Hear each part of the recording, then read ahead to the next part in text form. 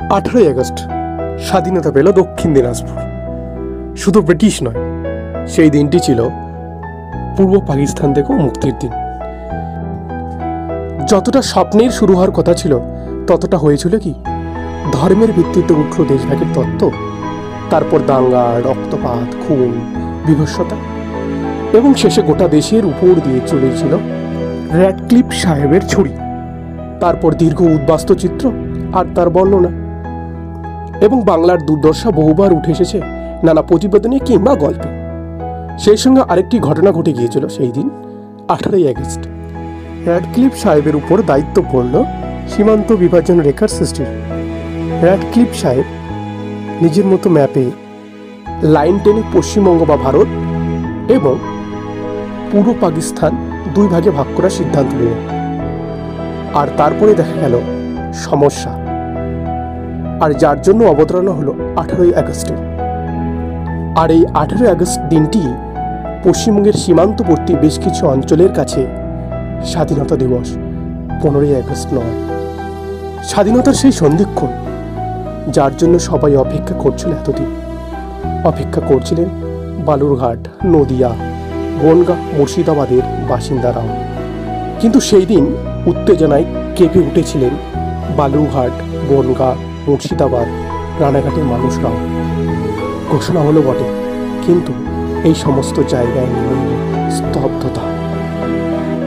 ঘটনাটি হলো র্যাডক্লিপের বানানো ম্যাপ অনুযায়ী বালুরঘাটের একটা বড় অংশ, অপরদিকে নদিয়া, বনগা, রানাঘাট, কৃষ্ণনগর, কল্যাণী, শান্তিপুর মুর্শিদাবাদের কিছু অংশ ভারতের বদলে চলে যায় পূর্ব পাকিস্তানে।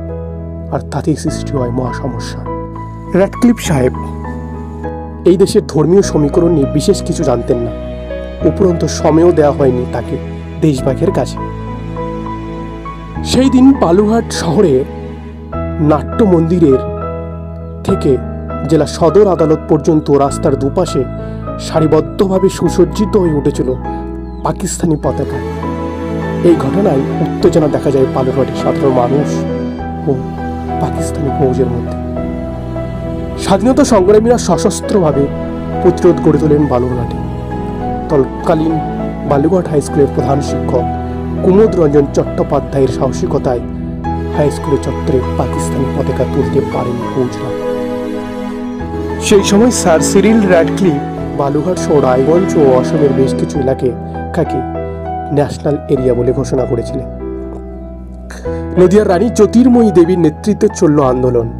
সকাল সন্ধে মিটিং। ধীরে ধীরে পরিস্থিতিতে আরও জটিলতা সৃষ্টি হয়। পরিস্থিতি হাতের বাইরে বেরিয়ে যেতে থাকে।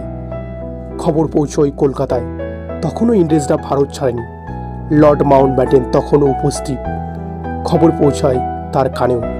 ইতিমধ্যে দুদিন পেরিয়ে গেছে। সমস্ত জায়গাতেই আন্দোলন আরও তীব্রতর হচ্ছে। পুলিশও পৌঁছে গেছে। শেষ পর্যন্ত সিদ্ধান্ত নিলেন মাউন্ট ব্যাটেন। ঠিক হলো, ম্যাপের রদ বদল করা হবে। হিন্দু অধ্যুষিত স্থানগুলি ভারতে চলে আসবে, বাকি কিছু জায়গা থেকে যাবে পূর্ব পাকিস্তানে।